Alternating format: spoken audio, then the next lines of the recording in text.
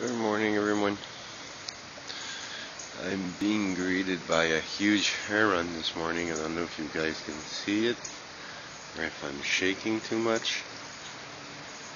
That's about 60 feet from where I am. 60 feet. And he's hunting.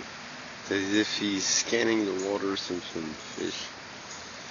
So a heron morning to my friends from Montreal Fair Skies. Birds are chirping. At 8 a.m. And um, enjoying life.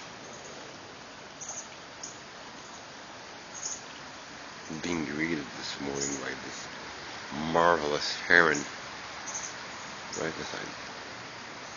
Have a good day, folks.